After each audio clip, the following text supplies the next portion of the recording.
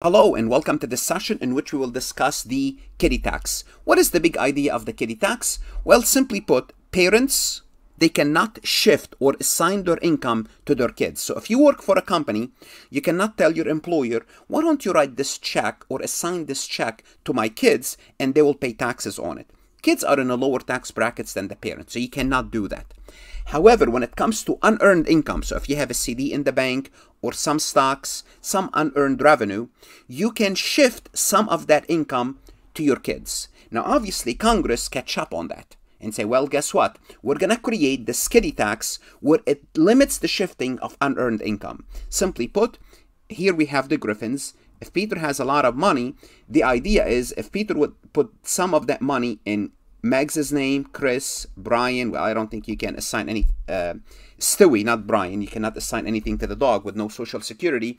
Then these individual, for example, they'll pay 10%, 10%, 10%, rather than the parents, their tax rate could be, just for the sake of illustration, 25%. So you can assign some, but not much, you are limited. So what are the rules for the kiddie tax? Well, it applies to any child who has not reached the age of 19 and if they're over 19, 24 but they're full-time students, the child did not provide more than 50% of their own support. Simply put, if the child is independent, in other words, the child then they can take care of themselves and they have unearned income, then it becomes their own unearned income. Now, when does the kiddie tax kick in? Well, if they have more than 2,300 in unearned income. Now this number 2,300 changes from year to year, so be, keep that in mind. So if you're looking at this recording in 2024, 2026, 2028, the number will be different.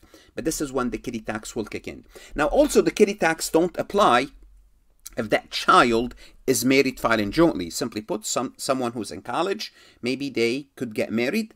Once that happens, because they're filing with someone else, the kiddie tax no longer apply. Now we need to know how do we compute the kiddie tax. Before we proceed any further, I have a public announcement about my company, farhatlectures.com. Farhat Accounting Lectures is a supplemental educational tool that's going to help you with your CPA exam preparation as well as your accounting courses. My CPA material is aligned with your CPA review course such as Becker, Roger, Wiley, Gleim, Miles, my accounting courses are aligned with your accounting courses, broken down by chapter and topics. My resources consist of lectures, multiple choice questions, true false questions, as well as exercises. Go ahead, start your free trial today, no obligation, no credit card required. Well, we're going to look at the kiddie tax when there's no earned income. So the individual has no earned income, and we'd look at the kiddie tax where the individual has earned income. Now, for the CPA exam, usually they only show you no earned income examples, but I want to show you both just in case. So the unearned income in excess of 2,300 is subject to the kiddie tax. So if you have unearned income reported more than 2,300, the amount above goes to the goes to the parent's tax rate. Now, how do we come up with this 2,300? Why is it above 2,300? Well, the first 1,150 is tax-free, so there's 0% on it. The second 1150, which is 1150 plus 1150 equal to 2300. The second one is the standard deduction for the child. The standard deduction will wipe out the second 1150. Now, how did we come up with this second 1150? I'm going to put it in a different color. That's your standard deduction.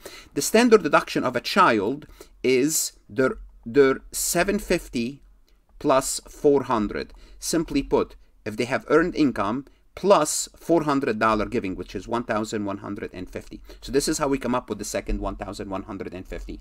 Anything above 2,300, which is the first 1,250 plus the second 1,150 is taxed on the parent level.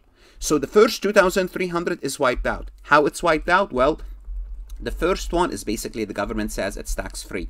The second why the second 1150 is wiped out through the standard deduction.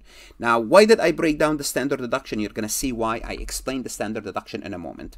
Now, how do we report this income? Well, we have two two options. Well, we could have a separate return for the child or the parent can allocate the income to their own return. So how would you report if it's more, if you have a kiddie tax? Well, report it on the child and pay the taxes, or assign the income to the parent as assigned interest and dividend, and they will pay the taxes as well. Let's look at earned income. What does earned income? It means when the child is actually working.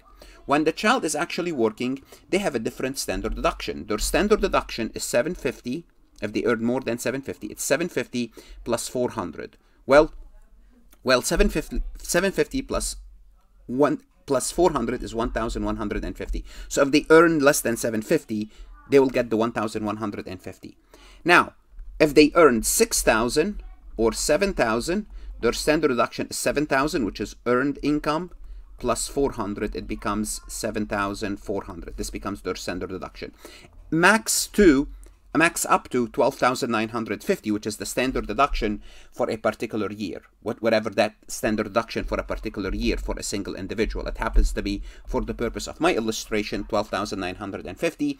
This number could change. Now, the best way to illustrate this is to actually look at an example where we have no earned income and earned income, including given a scenario with a kiddie tax. Let's take a look at the first example. Adam is single, 17 years old. He reported unearned income of 6,200. Now, most likely, Adam is 17 years old. He should not have unearned income of 6,200 unless Adam is a famous actor uh, and that's how he earned the money. Otherwise, it's his parents' money.